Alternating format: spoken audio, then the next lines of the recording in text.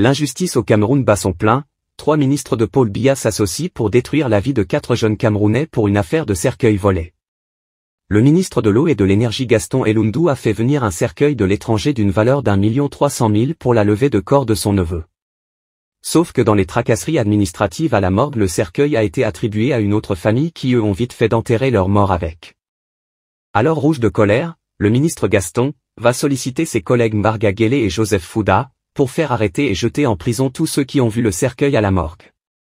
Aujourd'hui dans l'incapacité de se défendre, les victimes de ce scandale crient à l'aide et demandent l'aide de tout un chacun. Dans des révélations exclusives un ex-colonel de Billa, nous détaille amplement la situation et interpelle la justice corrompue de M. Billa de faire gaffe. En outre, il nous fait comprendre que le principal responsable de cette confusion de cercueil a été libéré, parce qu'il est le neveu d'un grand de la République. Info du Monde vous propose l'intégralité de ces révélations à suivre très attentivement. Juste après le générique retrouvons l'ex-colonel de Billa qui nous parle.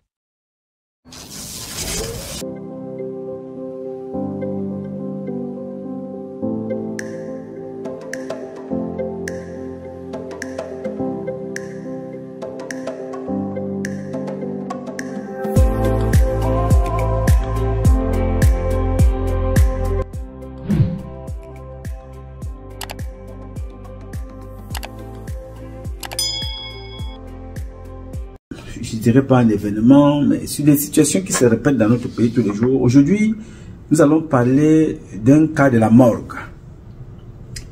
Un cercueil, plusieurs prétendants.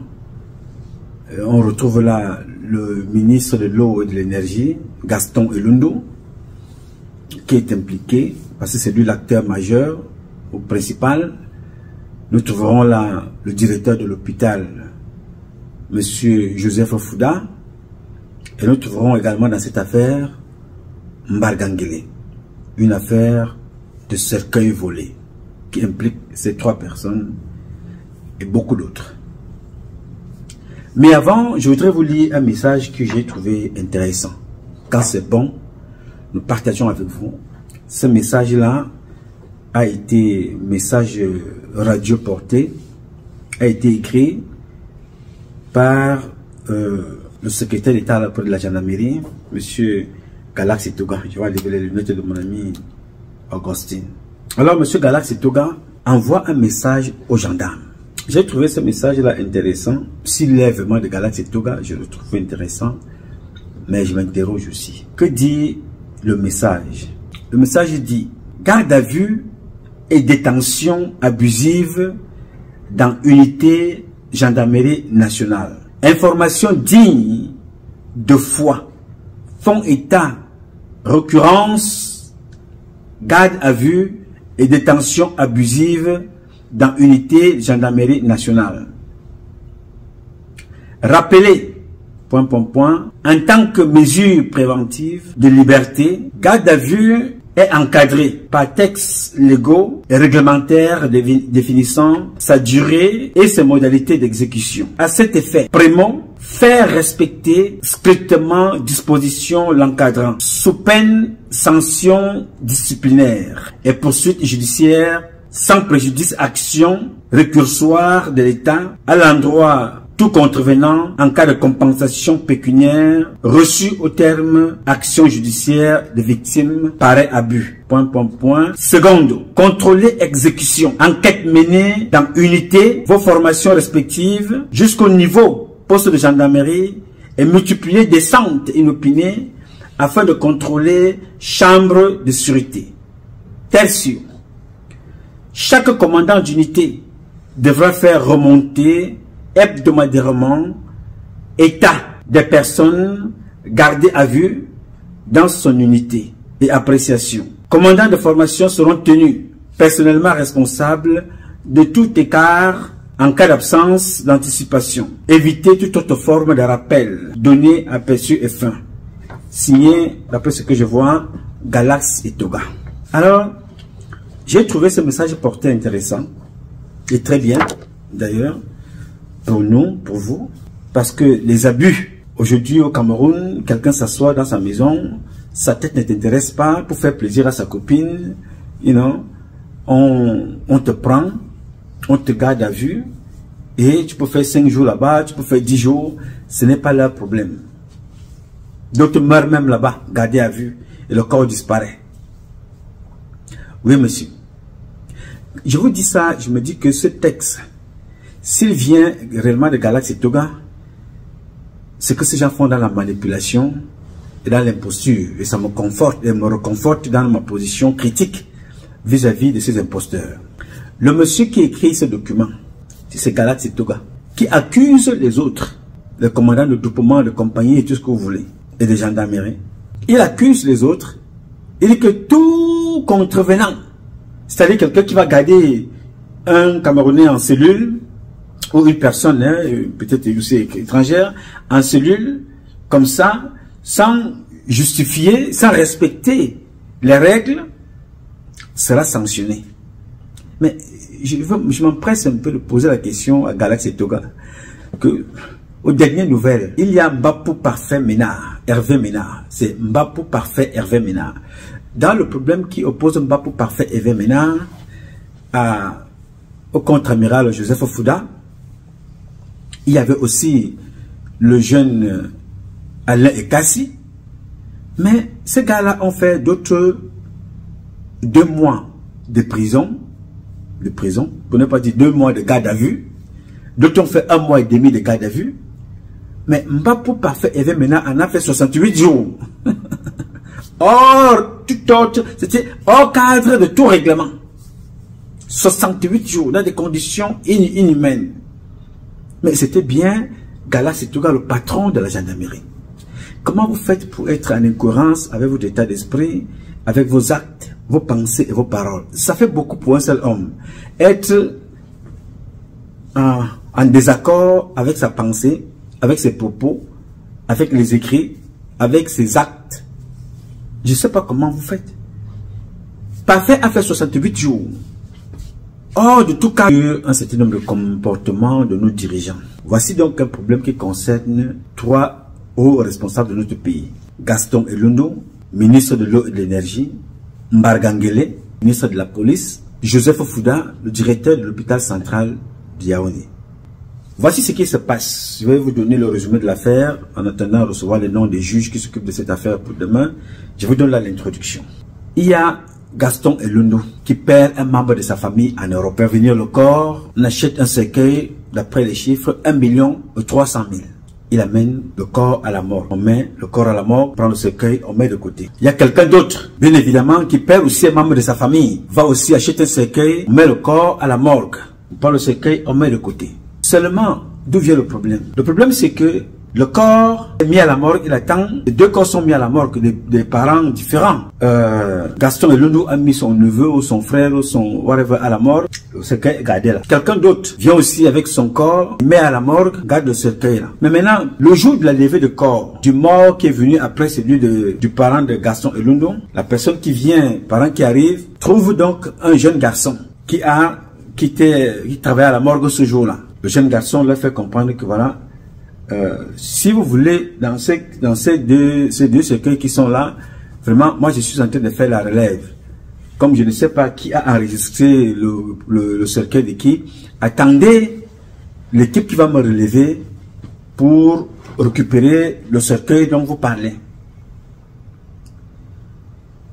Le petit en question, si son bon de relève, il descend parce qu'il a fait la permanence, il a travaillé, c'était son temps de partir. Et quelque part, il y a l'autre, celui qui l'a remplacé, arrive, discute donc avec ces gens, prend un cercueil, il la donne. Malheureusement, il prend le cercueil de Gaston Eluno qui a coûté 1 300 000. Il donne sans se rendre compte que ce n'était pas le... Sans se rendre compte que le, le cercueil qu'il est en train de donner n'appartient pas à la famille indiquée. Le cercueil appartient à Gaston et Lundou pour son neveu qui est à la morgue. Cette famille, cette deuxième famille prend le cercueil, prennent leur, leur, leur, cadavre, vont l'enterrer. Mais maintenant, quand la famille de Gaston et Lundou arrive donc quelques jours plus tard pour enterrer, aller enterrer son neveu ou son cousin qui est mort, on se rend compte que ce n'est pas le cercueil qu'ils ont laissé. Les problèmes donc commencent. Les problèmes commencent, comment ils s'embarquent tout le monde, y compris même la vendeuse de cercueil. Gaston Elundu, le directeur général de l'hôpital central, Joseph Fouda, Mbargangele, décident que tous ces enfants-là doivent être arrêtés, y compris la vendeuse de cercueil. Et j'étais en prison une confusion de cercueil. Entre temps, je rappelle très bien que quand ils arrivent au commissariat, on leur dit voilà, le cercueil a coûté 1 300 000. Il faut réunir ces 1 300 000 là. Ce qui va se faire le plus rapidement possible, les enfants, la vendeuse de cercueil et tout ça, parce qu'elle-même en ce moment en prison, la vendeuse de cercueil, son fils, euh, le vendeur, le, le qui n'était même pas là. Le morguier qui n'était pas là quand on a donné le cercueil, c'est lui plutôt qu'on a arrêté. on les a arrêtés tous, tous les quatre. La femme de la vendeuse de cercueil et son fils. On les a mis en cellule. Les deux morguiers, on les a mis en cellule. Alors, le morguier qui est parti avant même qu'on donne le cercueil, on l'a aussi mis en cellule, alors que lui ne connaissait rien. Il est en cellule. Il a fait 40 jours de cellule. C'est pour ça que ça, ça m'intéresse. 40 jours de cellule. 40 jours de cellule. Entre-temps, comme la corruption est ce qu'elle est, celui même qui a livré le cercueil, qui vient, qui est originaire du Nord, lui, il a été libéré sans caution. On ne sait pas comment il a fait pour sortir du commissariat. Il est parti. Mais c'est celui-ci qui n'était pas là. Quand on a donné le cercueil, c'est celui-là en ce moment qui est en prison. À l'instant où je vous parle là, il est en prison. La femme qui vend le cercueil, elle-même en prison. Le garçon, le morgue qui n'était même pas là, lui-même en prison. Ils sont arrivés au tribunal. L'un des juges dit, ok, je vais vous donner tous les noms des juges là demain. Parce que il voulait d'abord faire un aperçu parce que j'ai décidé que nos publications ne doivent plus dépasser une, certaine durée. Parce que ça, il faut des publications très très courtes. Alors le garçon, la femme qui va les cercueils, son fils et le, petit qui était qui n'était même pas là au niveau des on a remis le cercueil. On les arrête tous, on les envoie en cellule. Mais notre, notre compatriote du Nord, même qui a donné le cercueil, il a, à partir même du commissariat, il a donné la il a vanish. On ne l'a plus jamais revu. Ce sont les autres qui sont incarcérés. On dit voilà, pour vous mettre en liberté provisoire. Tout ça, c'est un problème de confusion de cercueil jusque-là. Mais on quitte un problème de confusion de cercueil, ça a changé de forme, ça devient trafic d'organes. Maragangele, Joseph Fouda et Gaston Elundu. Chaque personne, que ce soit Ncham, que ce soit Ndi, tout ce monde-là, tout le monde, on a eu les instructions de vous envoyer en prison. Confusion de cercueil. Voici l'argent dont le monsieur dit que ça a coûté 1 million 300 000. Voici le 1 million 300 000. Où on lui donne un nouveau cercueil. Non, ce n'est pas ça. Il faut absolument que les enfants là partent en prison. Ils les ont jetés en prison. Après 40 jours. Et on dit, ok, cotiser les cautions. Chacun doit donner 500 000 de cautions. Ils ont cotisé les cautions. Les cautions sont prêtes. Finalement, on dit, on ne veut plus les cautions. Mbargangeli demande qu'on vous envoie en prison. Joseph Fouda dit que non, il faut que vous allez, vous allez, quand vous êtes en prison. Euh, il s'appelle comment? Euh, Gaston Elundu demande que vous allez en prison.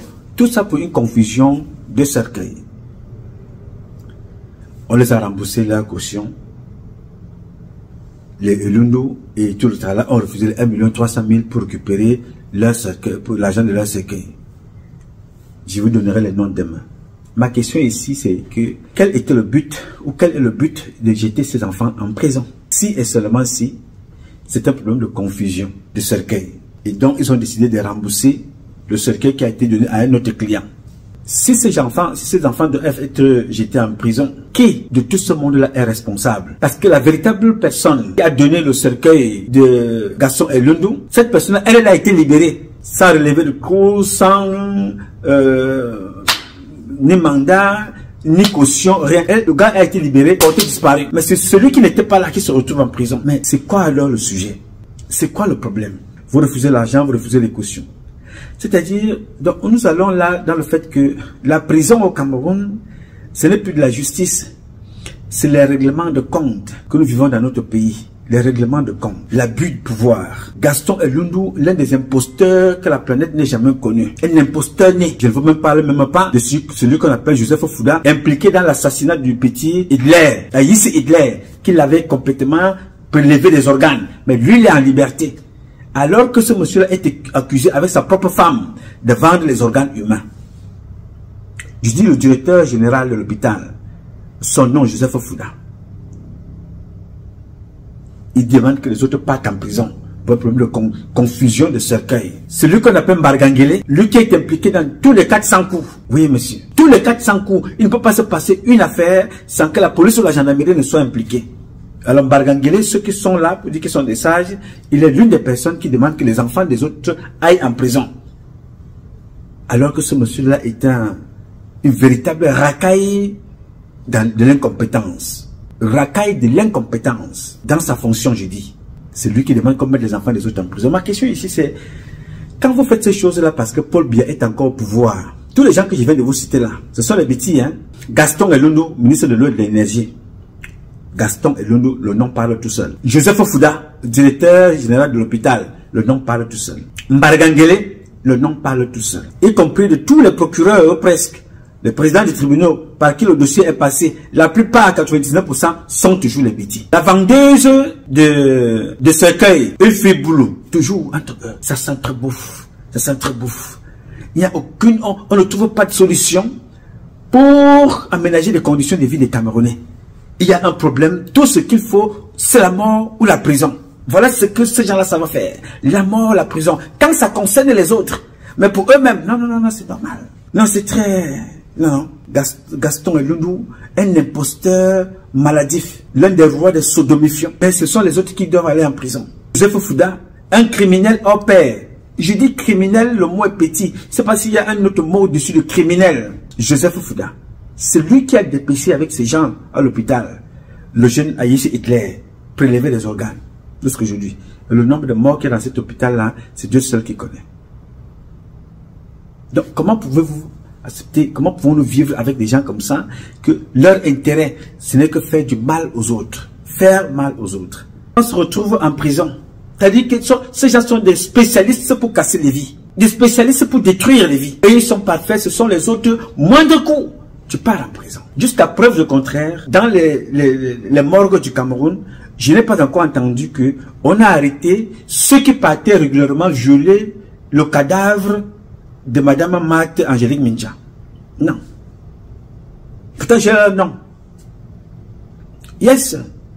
Mais c'est des enfants qui ont fait une confusion de cercueil, qui se retrouvent en prison, même avec l'argent pour rembourser que ce cercueil qui a coûté 1 million 300 1 million 300 000. Ils ont l'argent pour rembourser. Non, il faut les jeter en prison.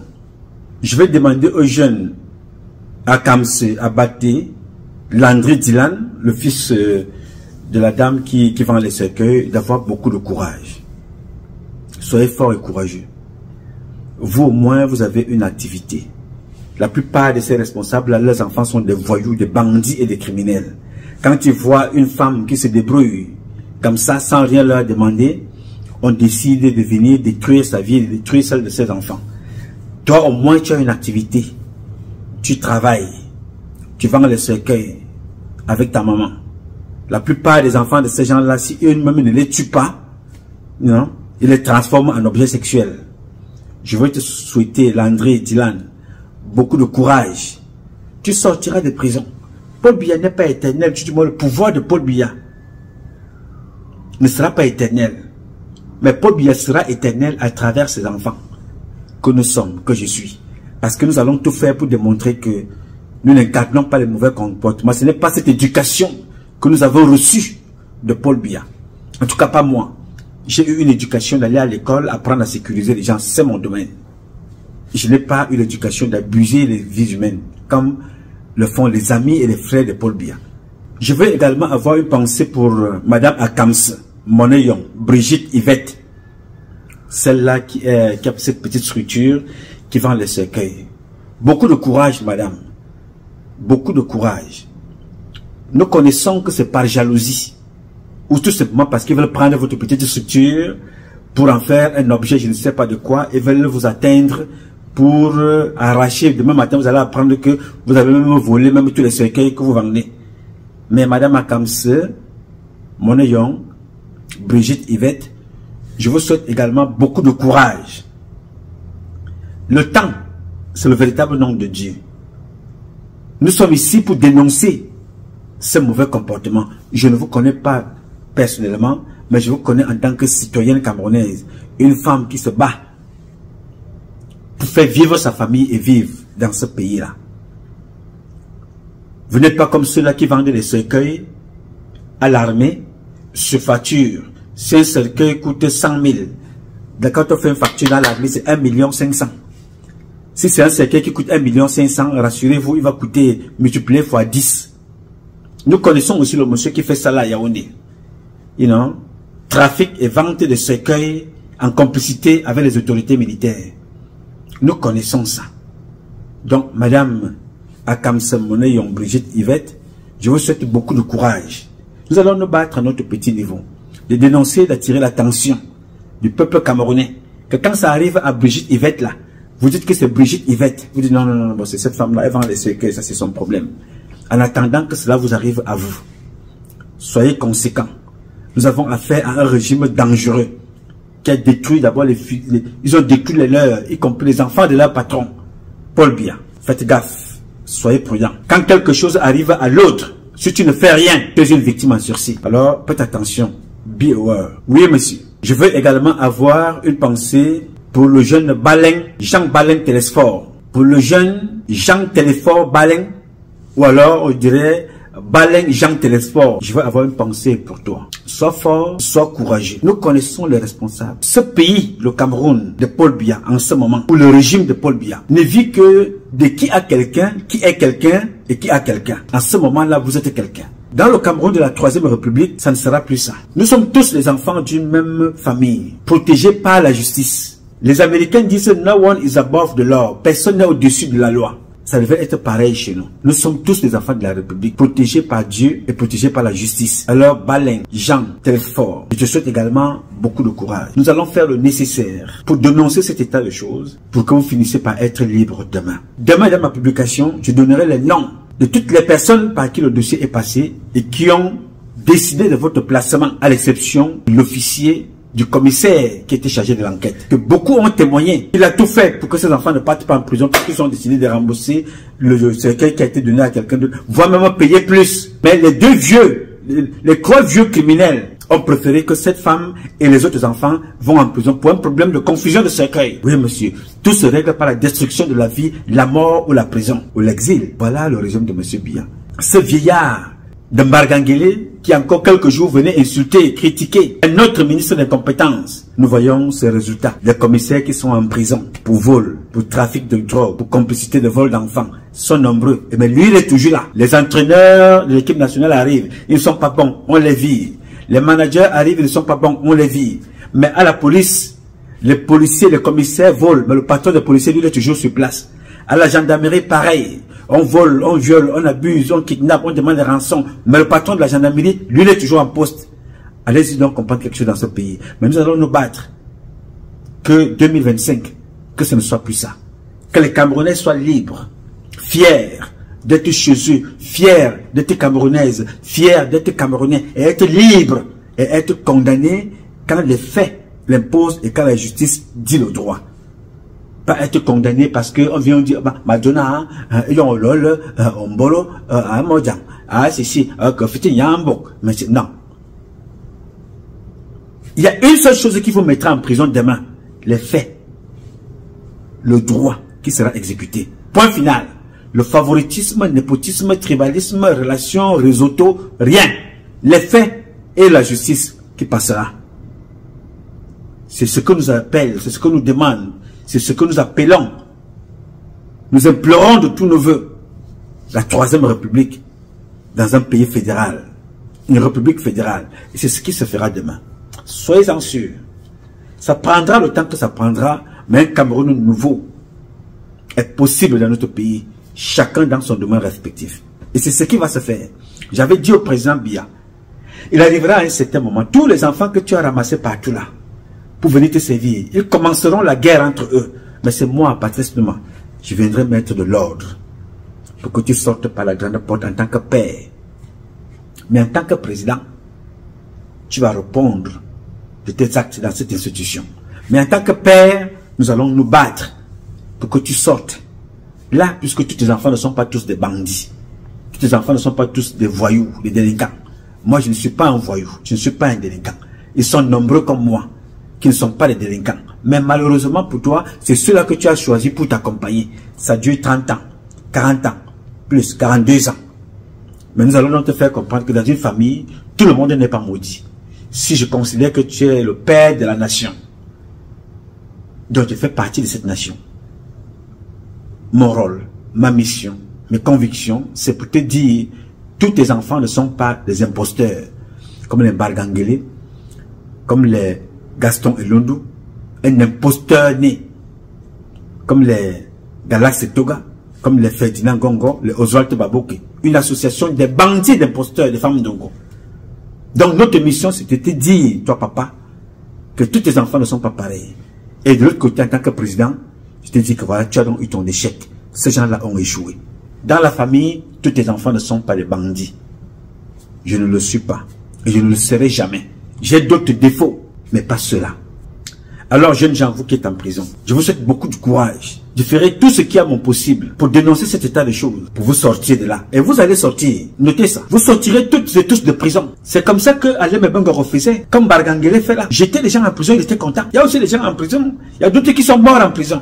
J'avais Mendoza est mort en prison. Bagangele n'est pas exempt. Faut faire attention quand vous faites du mal aux enfants des autres. Pensez aux vôtres. Mes chers compatriotes, mesdames, messieurs, je voudrais arrêter cette publication-là à ce niveau.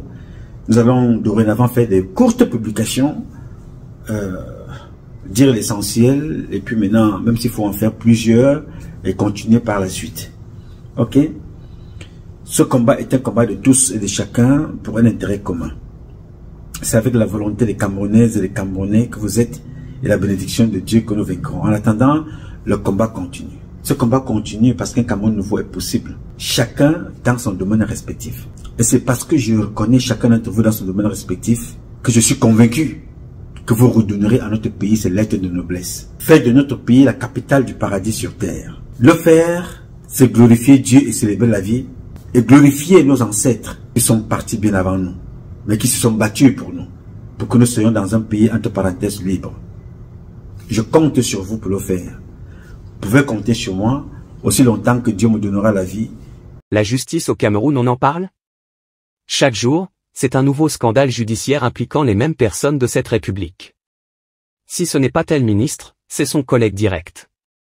Les Camerounais vivent sous la peur permanente de finir en prison, car il suffit de frôler la veste d'un haut cadre de cette République, pour se voir privé de liberté pour les onze prochaines années.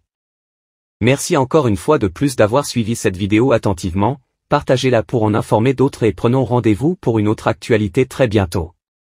Aimez la vidéo afin qu'elle soit vue par tous et abonnez-vous à la chaîne YouTube Info du Monde. Merci.